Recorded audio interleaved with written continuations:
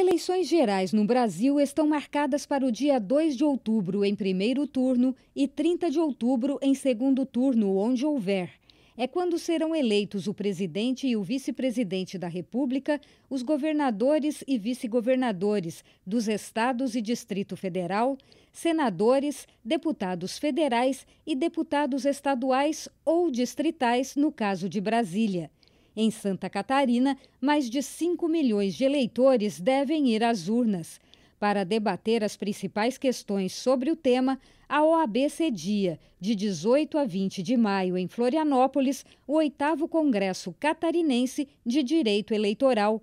De acordo com a presidente da Comissão de Direito Eleitoral da OAB em Santa Catarina, Cláudia Bressan Brincas, o evento é realizado por meio de uma parceria entre a OAB, Assembleia Legislativa, Tribunal Regional Eleitoral e agora, pela primeira vez, com a adesão do Conselho Regional de Contabilidade do Estado.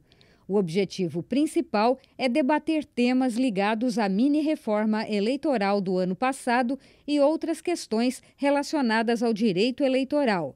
Esse é o nosso, nosso objetivo, trazer os últimos entendimentos, o que, que mudou na legislação, na própria Constituição, através das emendas é, constitucionais também, que tivemos inúmeras, até uma, uma agora este ano também, que foi a, a, última delas, 117. Então, trazer tudo que é de novo com os melhores especialistas, os, mes, os maiores renomes né, do direito eleitoral para o Congresso, para Santa Catarina estar tá podendo participar de um pleito eleitoral tranquilo e com menos é, fake news, com menos, é, com campanhas mais propositivas e com menos ataques. A advogada faz parte da comissão organizadora do Congresso. Ela explica que um dos temas centrais em debate deverá ser o combate às chamadas fake news. Fake news, hoje, na verdade, ela é uma das maiores preocupações né, para nós eleitoralistas, tanto para os juízes eleitorais, é, por todo, todos, todos aqueles que compõem né, a campanha eleitoral. Vamos trazer duas mesas com os maiores nomes sobre a matéria, né, tratando desse assunto que é tão caro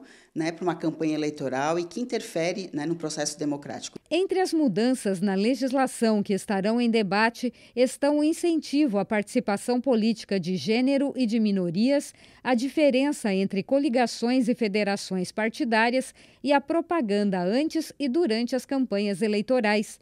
O Congresso Catarinense de Direito Eleitoral é um evento anual que começou em 2012 e só parou durante a pandemia. Esperamos que seja um grande evento, né, como tivemos nas edições anteriores, é, e aberto ao público, né, não só advogados, contadores, juízes, promotores, mas todo o público em geral, mesmo aquele militante, filiados a partidos políticos, pré-candidatos, é, assessores de marketing, jornalistas.